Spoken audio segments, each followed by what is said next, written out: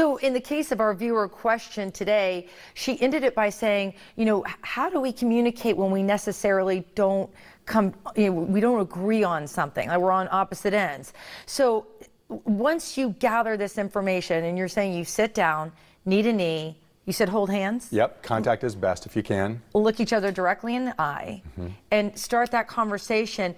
Does that also help as far as seeing, like, when you have opposite opinions? It does because you're physically connecting, you're being calm, you're respectful and listening, and you're investing in the other person. So if there's a difference, that's okay because, you know, two thirds of all issues in relationships are not solvable. And if you can't solve it, what do you do? You got to get understanding. And it's okay to disagree, but if you don't understand their opinion, their, where they're coming from, and you don't value their opinion as greatly as you value your own, mm -hmm. it's going to be really difficult to find that middle ground or third alternative.